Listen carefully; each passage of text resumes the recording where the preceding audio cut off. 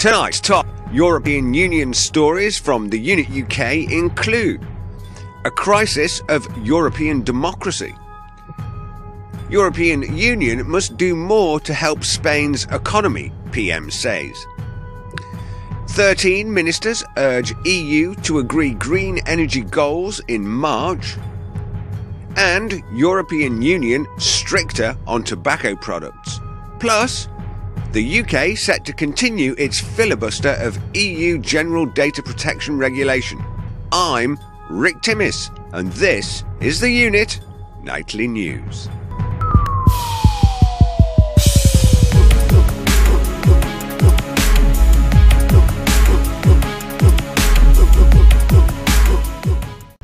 A crisis of European democracy. During November 2012, hundreds of thousands of people across Europe took to the streets. The protests were, by and large, complaining about government policies that increased taxes and lowered government spending. This initially sounds like a familiar story of popular protests against government austerity programs, but there is a twist to the tale. Many of the people protesting were not aiming their ire at the national governments making the cuts in spending, but rather at the European Union. In Portugal, people carried effigies of their Prime Minister on strings and claimed he was a puppet of the EU. In Greece, people burned the EU flag and shouted EU out, and in Italy, people threw stones at the European Parliament offices. It was, at least for some people on the streets, not the incumbent national politicians in Lisbon, Athens and Rome who were to blame for the problem of the day, but rather politicians and bureaucrats thousands of miles away in Brussels. Well, what a state of hypocrisy. Our political leaders ignore the people, run roughshod over their protests, refuse and in some cases even repeal referendum. How does the EU have the barefaced cheek to call itself democracy? Well, this article investigates.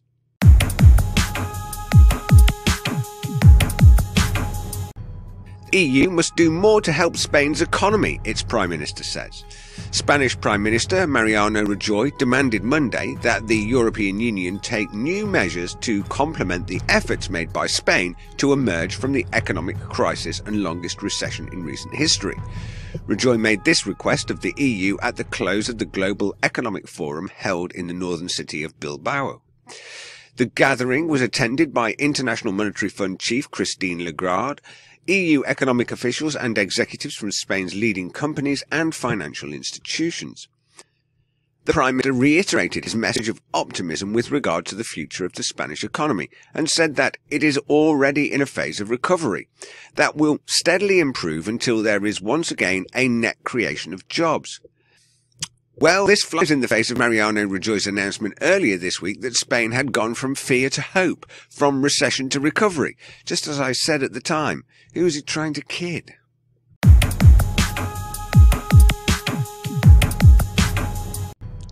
Thirteen ministers urged the EU to agree green energy goals in March.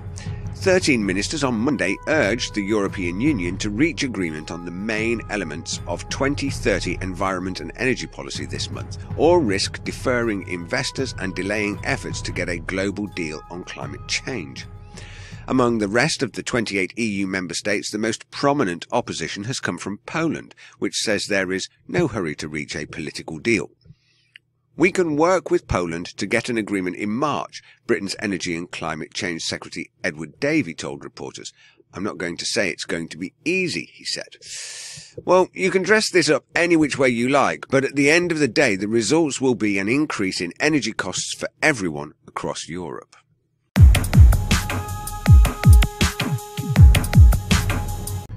EU is stricter on tobacco products. The tobacco industry has been facing several challenges of late in the form of higher excise tax imposed by governments around the world, declining volume, and worldwide anti tobacco campaigns to curb smoking. Last week it received another blow as the European Parliament imposed stronger rules on manufacture, sale and marketing of the tobacco products. The new European Union Tobacco Products Directive is a revised version of the original Tobacco Products Directive which was issued in 2001. The new rule has banned the sale of flavoured cigarettes and roll your own tobacco in EU region. However, other tobacco products such as cigars, cigarillos and smokeless products are exempt from the ban. Moreover, the directive requires the tobacco companies to include both pictorial and text warnings on cigarette packs to dissuade smokers. And the law also requires the warning to cover more than 65% of both the front and back covers. So, if you hear any mention in the UK media that the government is doing anything to legislate on tobacco, just remember where that legislation came from. It is all mandated and directed from Brussels.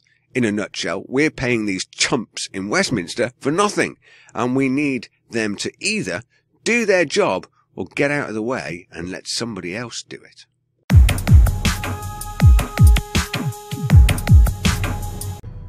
UK set to continue its filibuster of EU General Data Protection Regulation. European Union Justice and Home Affairs ministers will meet in Brussels this week. Top of the agenda will be discussions on reforming EU data protection rules. Viviane Reding, Justice Commissioner, and Cecilia Malmstrom, Home Affairs Commissioner, will represent the European Commission, and Theresa May, the Home Secretary, and Chris Grayling, Justice Minister, will represent the UK. A memo released Friday by the EC makes it clear that the GDPR, although currently struggling, remains a high priority. EC Vice President Viviane Reding said, I am confident we will be able to build on the momentum injected into the negotiations by the Greek presidency at the last informal council meeting in January. Seeing the latest progress, I will continue working with ministers for an adoption of the data protection reform before the end of this year. Now, let me be very clear about what is going to happen with this data protection legislation. And I quote Viviane Reding in doing so. She said, there will be one rule across all Europe.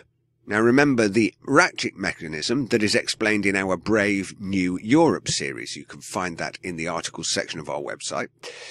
Basically, to repeal any law requires the unanimous approval of all member states. Do you really believe that under such circumstances, either Theresa May or Chris Grayling will be able to negotiate on anything? Well, apart from what wine they'd like to have with their main course, I'm afraid they won't. Now remember to visit our website, theunituk.com for all the very latest news. You can find our page on Facebook by searching for the Unit UK, all one word. Join our community on Google Plus where you can interact with us, voice your opinions and post comments about our stories and even get involved in the shows. And for all the latest tweets as they happen, then follow us on Twitter at the E Unit. I'm Rick Timmis, reporting for the Unit Nightly News. I'll see you soon.